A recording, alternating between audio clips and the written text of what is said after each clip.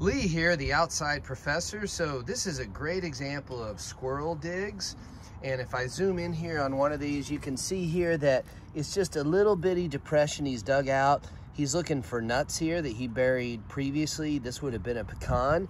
You can see the same thing over here. And the thing that you want to notice is that it's a shallow depression, right?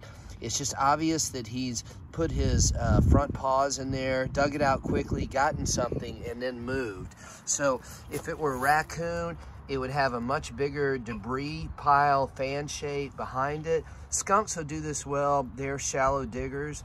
Uh, armadillos, uh, other animals like badgers, really good diggers. You could see this as well, but you'd see a lot more activity in the area. You'd see digs all around here, and some of them would be bigger. So this is classic squirrel sign uh, and easy to identify pretty much anywhere uh, where you live.